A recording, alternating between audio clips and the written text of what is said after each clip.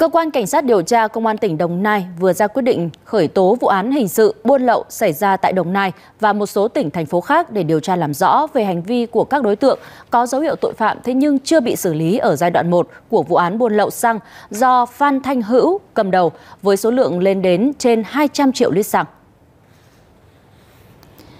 Để phục vụ điều tra, cơ quan cảnh sát điều tra công an tỉnh Đồng Nai kêu gọi các đối tượng phạm tội liên quan đến đường dây buôn lậu trên sớm ra đầu thú để được hưởng sự khoan hồng của pháp luật. Trong giai đoạn 1 của chuyên án do công an tỉnh Đồng Nai xác lập vào tháng 9 năm 2020 để đấu tranh với đường dây buôn lậu sang từ Singapore về Việt Nam tiêu thụ tại các tỉnh thành phía Nam và khu vực miền Trung Tây Nguyên, công an Đồng Nai đã khởi tố vụ án, điều tra và đề nghị truy tố 74 bị can về tội buôn lậu và một bị can về tội nhận hối lộ tổng số lượng xăng các bị can buôn lậu lên đến trên 200 triệu lít xăng, tương ứng với tổng giá trị hàng hóa phạm pháp là hơn 2.690 tỷ đồng. Cơ quan tố tụng cũng đã quyết định tịch thu sung công quỹ nhà nước 17 phương tiện tàu thủy, 22 xe bồn, hàng trăm tỷ đồng cùng nhiều tài sản có giá trị khác.